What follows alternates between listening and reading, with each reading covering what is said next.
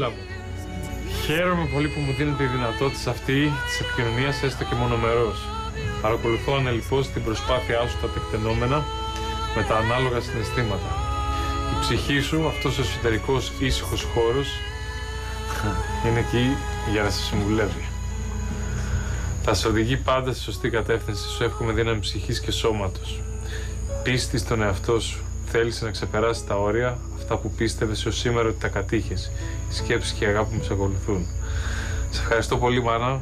Να ξέρεις ότι μου δίνεις δύναμη να είμαι εδώ. Εν μέρει το κάνω και για σένα. Κάθε φορά που βρίσκω δυσκολίες, σκέφτομαι και σένα. Θα τα πούμε από κοντά γιατί δεν μ' αρέσει να κλαίω και να με βλέπει ο κόσμος. Θα πιάνω σε μια γωνιά και θα το κάνω μετά. Ε, ελπίζω να με συγχωρέσεις άμα δεν τα έχουμε πει για καιρό. Και θα επανορθώσω να το ξέρεις αυτό. Σε όλα που χρειάζεσαι από μένα.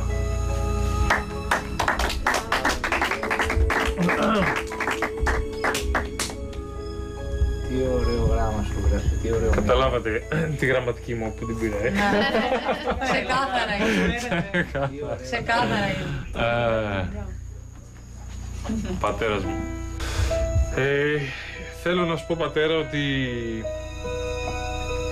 έχουμε έρθει πολλές φορές σε ρήξη και κάποιες φορές δεν μιλούσαμε για πολύ καιρό. Δεν μιλούσαμε για δύο χρόνια.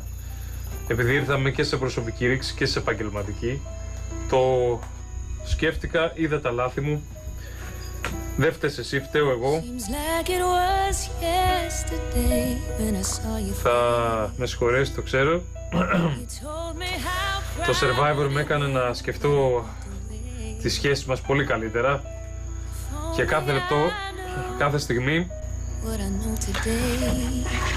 ε, να, να την υπολογίζω και να μην αφήνω βλακίες να μας χωρίζουν, γιατί οι ανοησίες ήταν. Θα σου κάνω μια εξομολόγηση γιατί δεν στο έχω πει ποτέ από κοντά, επειδή πάντα μιλάγαμε σαν άντρες και φοβόμασταν να τα πούμε. Θέλω να σου πω ότι σε αγαπάω, ενώπιον όλου του κόσμου που μας βλέπει, γιατί δεν στο έχω πει, γιατί θέλει, θέλει θάρρος και τόλμη να το πεις.